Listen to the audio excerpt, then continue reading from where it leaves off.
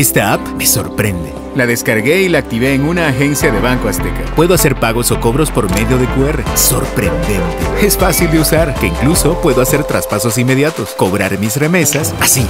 Esperen, olvidé pagar la luz. Listo.